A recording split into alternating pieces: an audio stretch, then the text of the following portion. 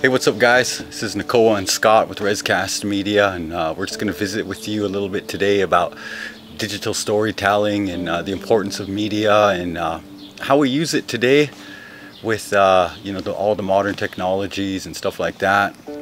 And uh, so, just to kind of kick things off, um, you know, in this day and age, um, you know, as Indigenous people, as Native people, we're really uh, we've always been a a, uh, our ways have always been passed down orally.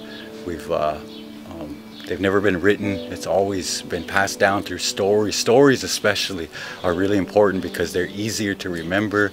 They pack a lot of emotion, and uh, so that's how they've been passed down. But in the in this era that that we're in, it seems like uh, we have less storytellers. We have less um, less of that knowledge being passed down.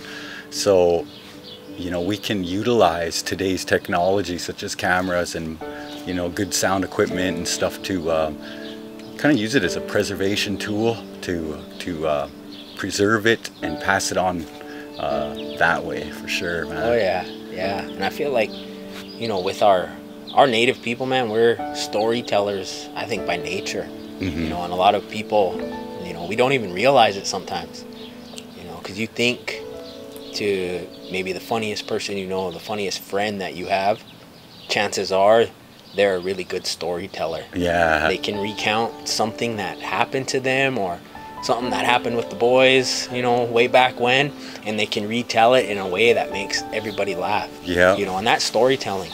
Um, not only are we storytellers, but you know, we're we like to laugh. You know, as yeah, Indians, we always, yeah. we're always laughing, um, and and stories go along with that.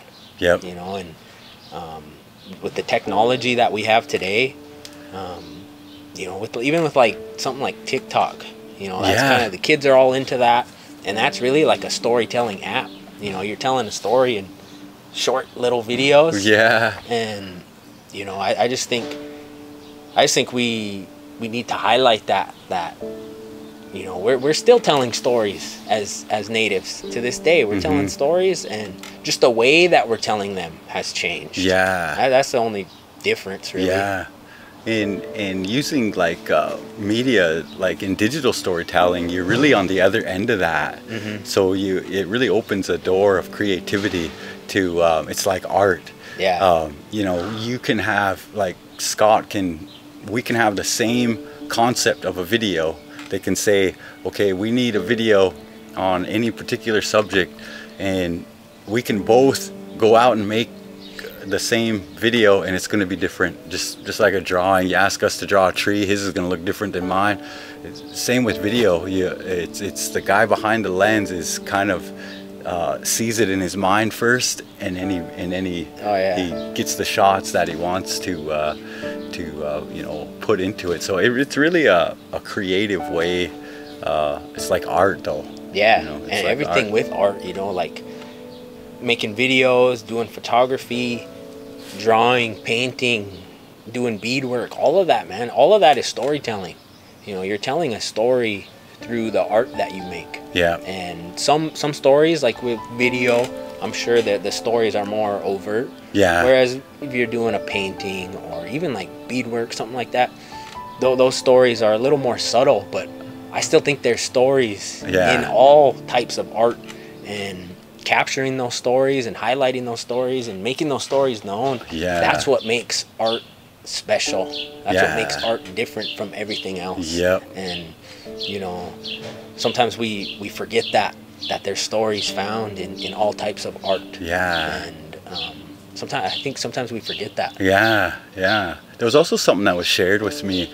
Um, you know, speaking of the different mediums of art and beading and painting and stuff, is um, you know, one of my aunties shared with me is that, you know, whenever I've done a CD, whenever I've done, uh, you know, whether it be the cover design, whether it be, uh, you know, the actual recording of it, there's always little mistakes, and I used to like try to be a perfectionist and try to fix that.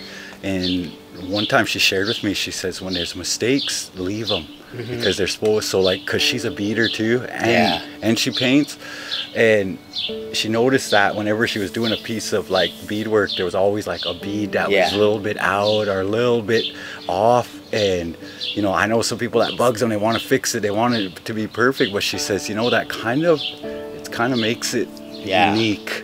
She said so Yeah. because one of my very first albums that I put out, I had a, a spelling error in the cover, Uh-huh. and I was and I was making a big deal about it. And that's when she told me about it. She goes, "Just just leave it. It's Yeah. supposed to be that way." Yeah. So I'm like, okay. So Uh-huh. my first album, I, I I think it was even my name, I think, or something. There was something in there that was a it was a misspelling, but she said just just leave it. Yeah. So I just I just learned to like it.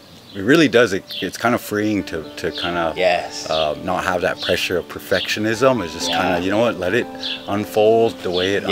unfolds. You know, when we try and make things perfect, you said it perfectly. Like that's kind of it's freeing when we know that everything doesn't have to be perfect. yeah, You know, and I like to think that the story, the story comes first above anything else. yeah, Um, above perfection, above even quality. right. I would rather have something that has an interesting story that might not be up to you know super high quality, yeah, but it has a good story. yeah, Whereas, you know, you could find, you come across certain types of art or media, and they may be shot perfectly. They may, you know, yeah, super crispy, but the story's not there. And all Right. you're looking at is some cool pictures, and that's it. You Yeah. know, I'd rather have a good story. I'd rather be invested and, and interested in in the story. in, in hearing a good story. Yeah, I agree. You know?